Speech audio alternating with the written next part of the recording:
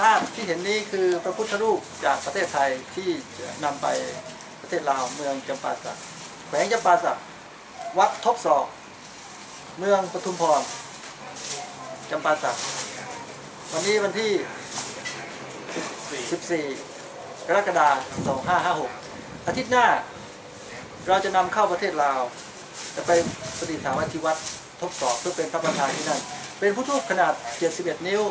ลงรักปิดทองสวยงามมากที่เห็นเมื่อกี้นี่แหละที่เห็นดูก่อนเนี่ยนี่คืออคลิปปิดท้ายนะผมจะนำไปที่อุบลแล้วก็ข้ามไปที่ประเทศลาวและจะอยู่ที่นั่นอีก 2,500 ปีจนกว่าจะสิ้นพุทธศาสนาพระพุทธรูปปางมารวิชัยรอภายในปี 2556 จะอยู่ที่ลาว